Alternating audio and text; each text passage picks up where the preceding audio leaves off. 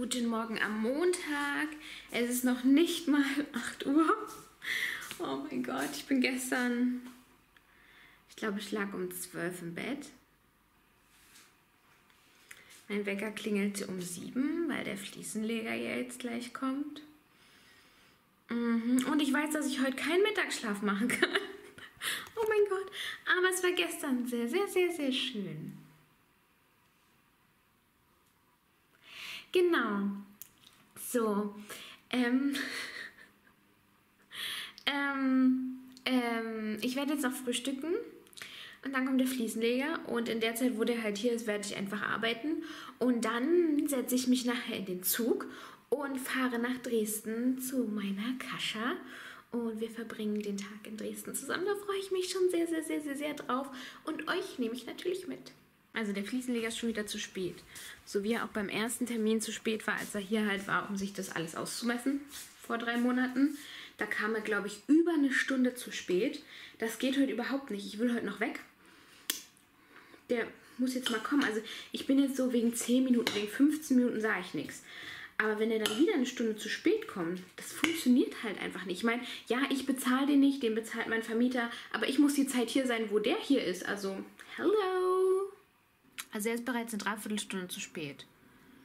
Das geht gar nicht. Lasst mal, ich hätte auf den gewartet, um den um 8 hier reinzulassen und wäre dann aber losgemacht, weil ich einen Termin gehabt hätte.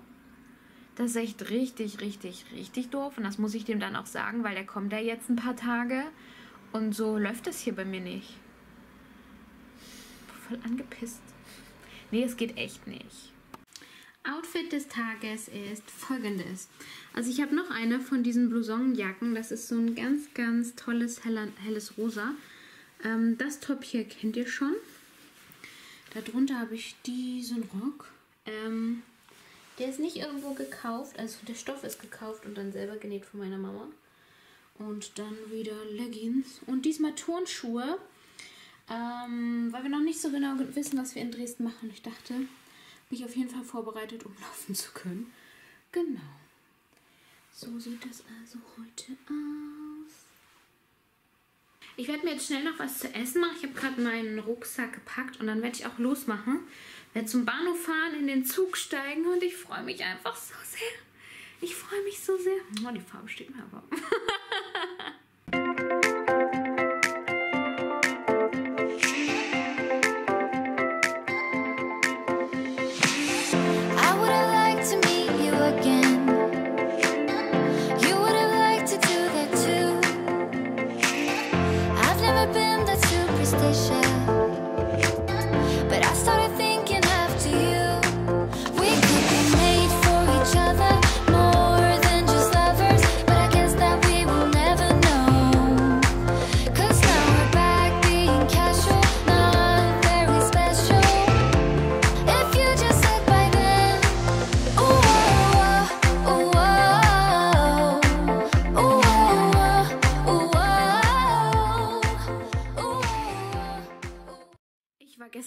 einfach zu müde, um noch weiter zu vloggen. Aber dabei will ich noch ähm, was Wichtiges erzählen. Aber es war gestern so, so, so, so, so, so, so, so schön. Es war vor allen Dingen so lecker. Aber ich habe so viele Stunden auch im Zug verbracht, dass ich dann einfach müde war und keinen Bock mehr hatte. Und als ich dann auch, also ich war dann noch wieder zu Hause ewig an meinem Handy. Und als ich das dann zur Seite gelegt habe, bin ich auch wirklich innerhalb von einer Sekunde eingeschlafen. Es war total krass. Ähm, und zwar, weil das thematisch von euch so ein bisschen angesprochen wurde und weil ich mich über das Thema in letzter Zeit sehr oft mit verschiedenen Menschen unterhalten habe, wollte ich das nochmal so ein bisschen aufgreifen und gerne auch eure Meinungen und Erfahrungen dazu hören. Und zwar geht es um meinen aktuellen Beziehungsstatus. Und ich muss sagen, ähm, ich war das letzte Mal Single vor acht Jahren. Und ich finde, da liegen Welten dazwischen. Also das, was ich heute über Männer weiß, hätte ich gerne damals gewusst. Aber dieses ganze drumherum, also auch dieses Dating ist was ganz anderes. Ähm, es ist alles zum Teil auch komplizierter geworden. Jetzt ist mein Fliesenleger wieder da. Moment. So, ich habe jetzt mal kurz die Location gewechselt. Der Fliesenleger muss ähm, nicht erfahren, wie mein aktueller Beziehungsstatus ist. Also, ähm, ja, ich finde, es ist alles komplizierter geworden irgendwie. Und aber auch anders. Ähm, früher war es halt so, weiß ich nicht, also jedenfalls war das bei mir so, ähm, du hast halt, ich sag mal, Interesse bekundet, hast dich dann so zwei, dreimal getroffen, hast dich geküsst, hast, hast dir gesagt, dass man sich einander gut findet und war dann halt zusammen. Und so läuft es aber jetzt nicht mehr. Also jetzt ist das eine Geschichte von Monaten. Das, was sich früher innerhalb von ein paar Tagen oder so zwei, drei Wochen abgespielt hat, das zieht sich jetzt über Monate. Und ich finde es auch schwieriger geworden, Sachen zu definieren, weil es da einfach plötzlich so viel dazwischen gibt. Früher warst du zusammen oder du warst nicht zusammen. Also jedenfalls in meinem Fall. Ich hatte mit Anfang 20 ähm, keine Sexbeziehung oder so. Und jetzt gibt es einfach so viel dazwischen. Zwischen wir sind befreundet und wir haben eine Beziehung, gibt es noch so viel anderes. Und ich finde es unglaublich schwer, einen Beziehungsstatus aktuell zu definieren, möchte es auch gerade nicht tun. Also ich möchte auch, also ich bin in keiner festen Beziehung, ich bin Single, wenn wir es darauf herunterbrechen. Es gibt natürlich jemanden, der vielleicht so die erste Geige spielt, aber nicht die einzige Geige spielt.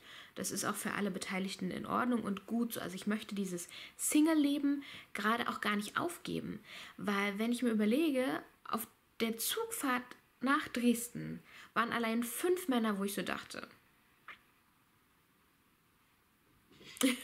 Und einfach diese Freiheit und dieses Wissen, du könntest, wenn du wolltest, finde ich gerade so spannend. Das möchte ich auch gerade nicht aufgeben. Das finde ich auch gut so.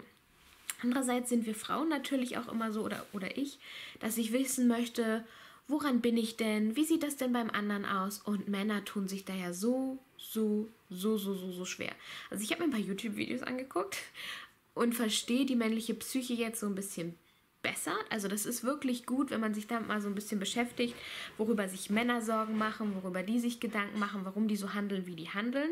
Das ist wirklich mal ganz interessant und dann auch nachvollziehbar.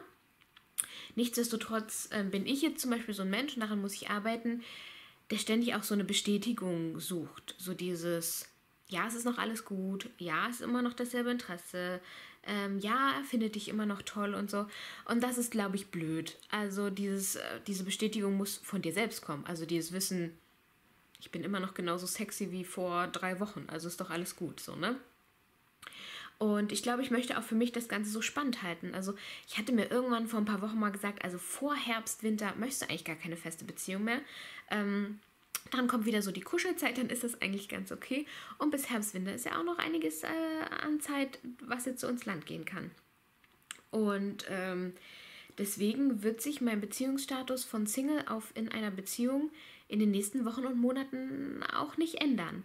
Und ich möchte mich auch gar nicht so auf diesen einen Mann jetzt fest einschießen, weil niemand von uns beiden weiß, in welche Richtung es geht. Wir sind offen dafür, wir verschließen uns nicht davor, aber du musst dich doch erstmal so kennenlernen. Und in unserem Alter, wir haben ja auch ein Leben rundrum und da ist ja schon einiges gesetzt und andererseits passiert vielleicht auch gerade super, super viel. Und dann gibt es da ja auch noch Kinder. Und dann sind wir hier in einer sehr, sehr kleinen Stadt. Und da musst du dir das echt gut überlegen. Also ihr wisst, mir ist das jetzt nicht so, aber da reicht es schon, wenn wir nebeneinander durch die Stadt laufen würden und wir wären garantiert schon zusammen und innerhalb von ein paar Stunden wüsste das die halbe Stadt. Und sowas muss man sich halt echt überlegen und da muss man ein bisschen aufpassen. Und andererseits sehe ich alles auch immer als Chance und als Möglichkeit. Also wenn du Typen triffst, mit, dich mit denen gut verstehst und dann auch seine Freunde kennenlernst, vielleicht ist äh, dein Traummann gar nicht er, sondern sein Kumpel. also ich sehe in jedem Augenblick auch die Möglichkeit und die Chance und ich möchte mich gerade nicht festlegen und er möchte sich gerade nicht festlegen. Wir verschließen uns nicht davor, wenn es passiert, dann passiert Aber aktuell ist das einfach auch nicht unser Ziel oder, oder Sinn der Sache. Deswegen, ja, es gibt keine Definition dafür. Also ja, Beziehungsstatus wäre dann, ähm, wenn du es runterbrichst, Single, aber das ähm, beschreibt nicht mehr annähernd das, was halt alles abgeht, ne? Und, und das, was da halt so dazwischen liegt. Deswegen finde ich das gar nicht so einfach und kann euch da auch gar nicht immer so konsequent ähm, auch updaten. Ähm, auch weil ich halt für mich festgelegt habe, dass ähm, hier aus Instagram und überall, soweit es geht, rauszuhalten. Ähm, Einfach weil ich nicht einschätzen kann, was das eventuell für Folgen hätte. Und das muss ja dann einfach nicht sein.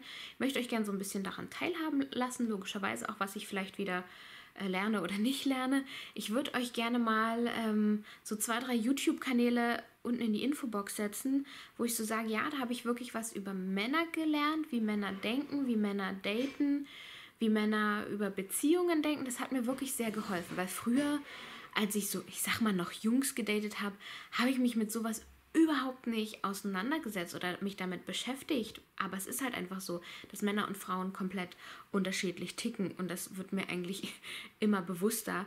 Und ähm, da gibt es auch einige Videos, wo es dir so ein bisschen halt spannend, halt spannend. Und das ist auch für dich gut, nicht nur für den, den du da erobern möchtest, sondern halt auch für dich halt das Leben spannend, setzt dem nicht gleich wieder so Grenzen. Das ist ja eigentlich eine ganz gute Sache.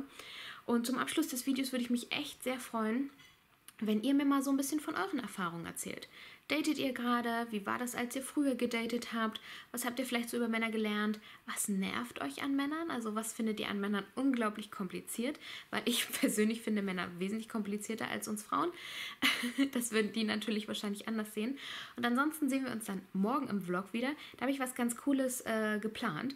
Da werdet ihr mir nämlich den ganzen Tag über auf Instagram Fragen stellen können, die ich dann in dem Vlog so über den Tag verteilt beantworten werde. Also bis dann!